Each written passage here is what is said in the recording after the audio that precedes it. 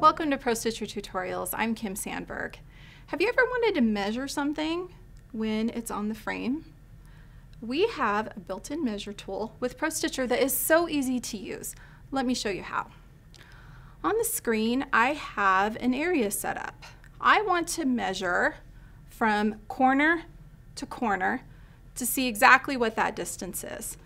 So I'll move my machine over to the top corner of that area and align my crosshairs right there with the two sides of the area.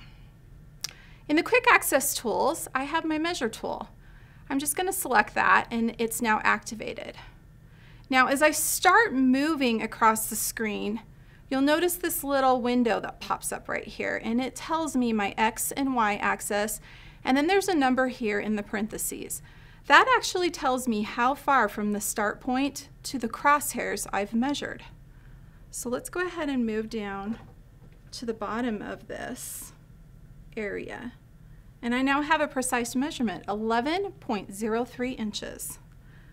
Now I can do exactly the same thing just on my quilt.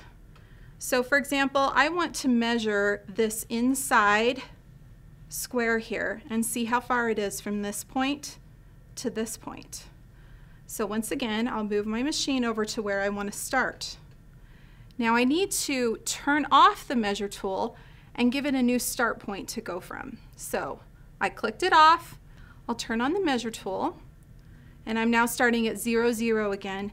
As I move across the block on the quilt, I'll be able to get this exact measurement. It's 1.93 inches. All good information to help me get this quilt finished in a hurry.